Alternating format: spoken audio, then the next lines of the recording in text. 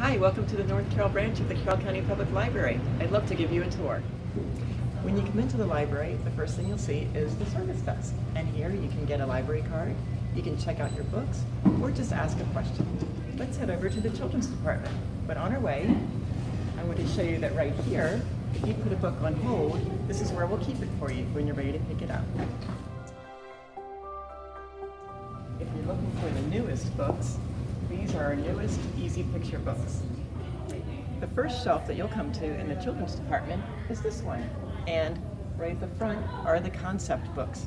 And concept books are books about things like numbers, colors, alphabet, and shapes. The other thing on this shelf, if you go down a little bit farther, you're going to find some different series books.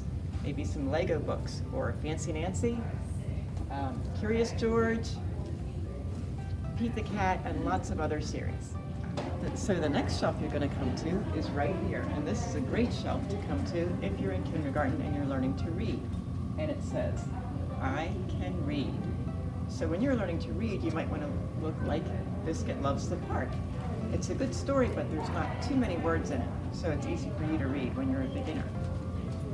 There's also popular books here like Cat in the Hat or the Elephant and Piggy books. I love to read at the library. After the I Can Read books, all these shelves here are called Easy Picture books. And these are books like Groovy Joe, and the, these books have lots of great illustrations, and they're fun to read with a grown-up. So some of them have lots of words, and some of them don't have as many.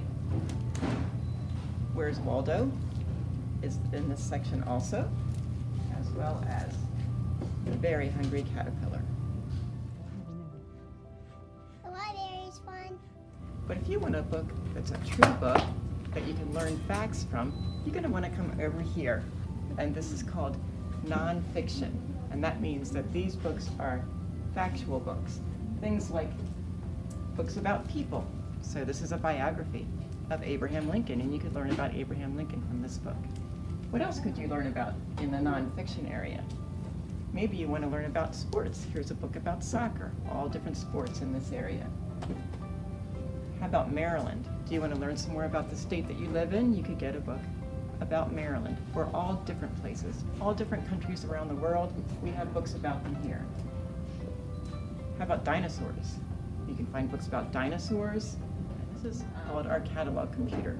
And here you could type in something like maybe cookbook or dogs or different things, and it will tell you what kind of books we have about that in our collection. I like books about dogs. Another thing that's over here in the nonfiction section are magazines just for kids. So the newest issue of the, the magazine is on the front, but if you want to look at some other issues from before, lift up the shelf and you'll see a pile of magazines underneath. And you can check these out and take them home and read too. Here's a great spot to find graphic novels. Here's a good one. It's called Sparks. These books are called Wonder Books. And what's wonderful about these books is that right here, you can push the button and someone will read the book to you. It's like a recording of the book, so you can follow along with the pages while it's being read to you.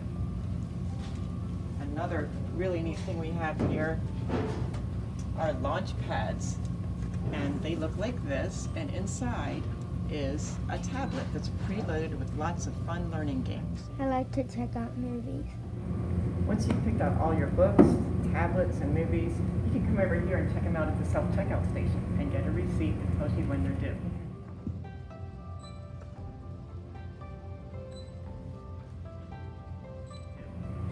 Or you can bring your things over here to the service desk and give them to the library staff with your library card. And they'll say, make sure and get your library card. Free and check out all the items. We never charge for any of those. And if you ever have any question at the library, come to the service desk and anybody here can help you. Now we're going to go see a part of the library that not many people get to see. Let's get back into the workroom and see the book drop. If the library is closed, you can still return all your materials from outside through our book drop. And this is our special book drop room. Do you wonder where your books go when you put them through that slot? Let's look and see. Here comes some